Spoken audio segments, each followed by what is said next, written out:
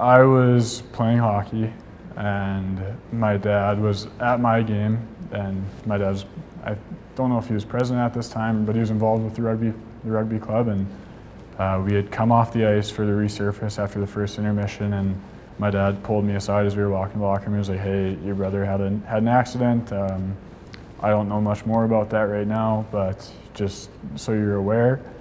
Um, and then so I went back into the locker room, didn't really know what to expect. I didn't really have any concept of what was going on.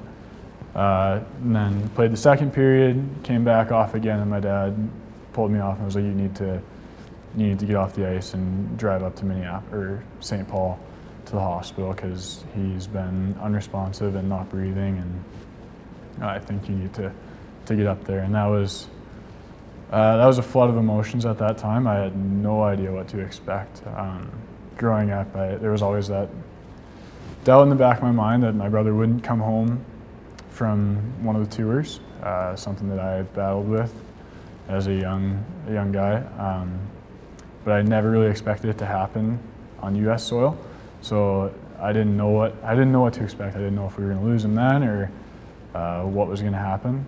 So that was kind of a flood of emotion driving up to St. Paul that day. This video was produced by BrainLine thanks to generous support from the Infinite Hero Foundation.